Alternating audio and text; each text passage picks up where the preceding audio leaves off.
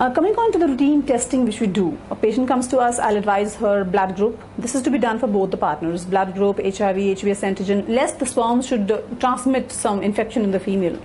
The CBC, the thyroid profile, prolactin to rule out hormonal anomalies, the um, AMH, anti-Mullerian hormone, that is also done to see the ovarian reserve one thing which most patients don't understand is as uh, against the sperms which are regularly formed, every three months the male will produce sperms and the male will produce uh, sperms even at the age of 60 years. But a lady has a fixed amount of eggs in her ovaries. That amount is fixed even before the lady is born. Every passing year will lead to decrease in that count. So, and presently uh, we don't know the cause, either it is uh, environmental or it is stress stress induced or chemical induced, we don't know. But a lot of ladies, normally a lady has a, a loss of eggs by the age of 45, 50.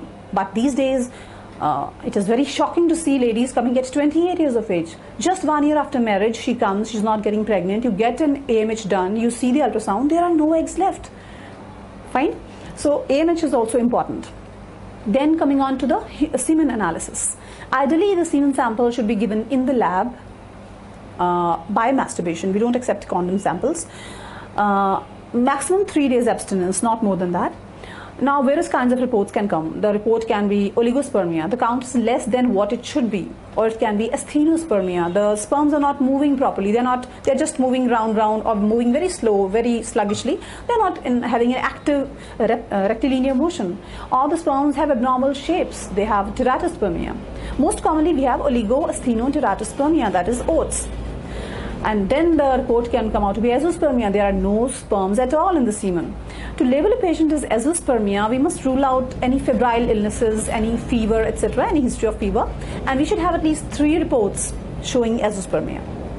Then, what is the cause for azoospermia?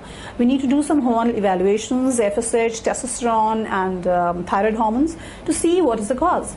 If the cause is hormonal, that is treatable, but if everything comes out to be normal, then we need to go for a fine needle aspiration cytology of the testicular tissue to see are the sperms being formed in the testes at first place. If they are not being formed, the only uh, option left is a donor semen option. We have certified donor banks where we get sperms which are free of uh, any infection, anything. We do the sperms are quarantined. We take the sample, we keep it for six months, we don't use it then the donor comes again to us after six months. We test the donor again for HIV, HBS antigen, HCV, and a lot of infection screen. If the donor is negative, only then we release the sample for insemination. That is a, a kind of quality control which we have in the good sperm banks. Coming on to the tubal testing, the uh, tubes are very important for a normal healthy pregnancy to occur. We test the tubes by a test called hysterosalpingography. It is an OPD procedure done in the radiology department. Here we uh, just give a local anesthetic on the uterine mouth, that is cervix. We take a cannula, inject the dye, and we take the X-ray films. So in this, we assess the uterine cavity and we assess the tubal patency. And then coming on to the laparoscopy and hysteroscopy, patients are very um, like worried, oh my God, I have to go in for a surgery. Nothing doing. It's a simple surgery done under general anesthesia. It's a daycare procedure. We see the uterus, we have a look at the tubes, or the ovaries, and the tubo-ovarian relationship. We assess if there are any adhesions, we break those adhesions. Uh, if the patient has fibroids, we try removing the fibroids either through the laparoscope or to the hysteroscope, depending on the number and size of location of the fibroids and if there are endometriotic cysts, we release those, we remove those cysts. The tubal blocks can also be corrected. Some kind of blocks are correctable with laparoscopy and hysteroscopy. And uh, we can even take samples for uh, tuberculosis to rule out TB. That's a major cause of infertility, tubal blockage, and adhesions. And uh, what is IUI? IUI is intrauterine insemination. In this, we uh, give the female partner some medicine for her eggs to form. Then we do the follicular monitoring under ultrasound guidance. When the eggs are ready, we give an injection for the eggs to rupture, for the follicle to rupture.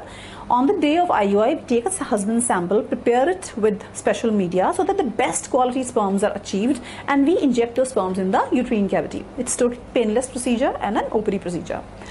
Let's say patient is not becoming pregnant even after six to eight IUIs, she's not getting pregnant, or the tubes are very bad, tubes are blocked, the semen sample is very bad. Then we have to directly advise IVF or ICSI. Here, the patient is given injections. Uh, minimum 8 to 10 eggs are formed. The eggs are retrieved under general anesthesia, under uh, ultrasound guidance. These eggs are fertilized with the sperms and then embryo is formed. This embryo transfer is done after 48 hours of the ovum pickup and the result is achieved in 15 days. Some patients uh, can even opt for embryo donation. No sperms in the husband, no eggs in the lady. We have embryo banks also. The couple can come and we can provide embryos to them. And uh, at last, I'll just like to advise the patients don't delay pregnancy too much. Don't keep your laptops on your laps. A very simple but very significant advice. That is a major cause of sperm problems these days in youngsters.